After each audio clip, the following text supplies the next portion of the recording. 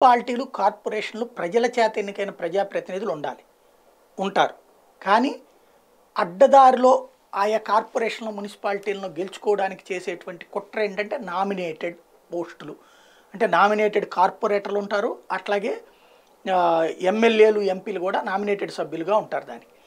దాన్ని అడ్డు పెట్టుకుని గెలి ఓడిపోయిన వాళ్ళు గెలుస్తున్నటువంటి సందర్భాలు ఇప్పుడు అనేక చోట్ల ఉంటున్నాయి. మన ఆంధ్ర తెలంగాణలో చాలా చూస్తుంటాం ఇట్లాంటివి.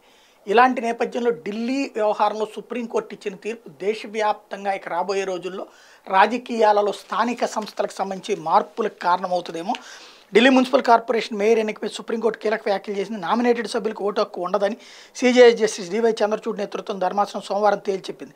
ఈ విషయంలో రాజ్యాంగ నిబంధనలు చాలా స్పష్టంగా ఉన్నాయని పేర్కొంది. ఢిల్లీ లెఫ్టినెంట్ గవర్నర్ కార్యాలయం తరపున హాజరైన అదనపు సొలిసిటర్ జనరల్ సంజయ్ జైన్ స్పందిస్తూ దీనిపై తాను వాదనలు వినిపిస్తానన్నారు. సమయాభావం వల్ల విచారణ ఈ నెల పదిహేడుకు వాయిదా వేస్తున్నట్టు ధర్మాసనం తెలిపింది. దీంతో పదహారం జరగాల్సిన ఎంసీడీ మేయర్ ఎన్నికను పదిహేడవ తేదీ తర్వాతే నిర్వహించనున్నట్టు జైన్ చెప్పారు. మేయర్ ఎన్నిక వాయిదా పడి ఆ తర్వాత ఈ నామినేటెడ్ కనుక లేకపోతే అనేక చోట్ల తెలంగాణలో నామినేటెడ్ వాటి వల్ల ఈవెన్ హైదరాబాద్ కార్పొరేషన్లో కూడా నామినేటెడ్ దాని వల్లనే హైయెస్ట్ డామినేషన్ వచ్చింది. కొంత మెజారిటీ ఉన్నా కూడా నామినేటెడ్ దాని ద్వారానే సాధించినట్టయింది. కాబట్టి ఇప్పుడు దీంట్లో ఫైనల్ తుది తీర్పు ఏమొస్తుంది అన్నది ఇంపార్టెంట్.